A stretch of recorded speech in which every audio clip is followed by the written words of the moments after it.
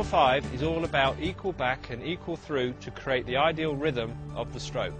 What I see an awful lot is a long backswing and a de-accelerating through the ball, or even a short backswing and a long follow through. So by using the mirror, you can place the T-peg in different holes, or even continue it out the back. So what I'm ensuring is that I can now restrict the length of my backswing, so then I can work on what is the, the correct length of the follow through to marry the two.